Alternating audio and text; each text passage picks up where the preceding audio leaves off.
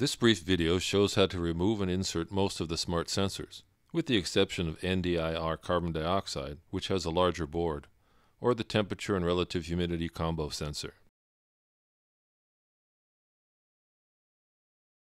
The supplied hex screwdriver is used to open the probe hatch.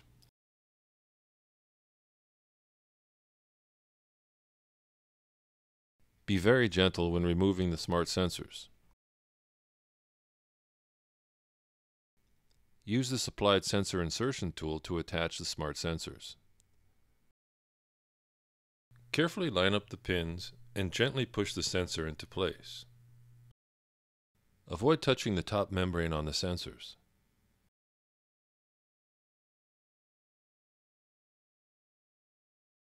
Close the hatch and secure it.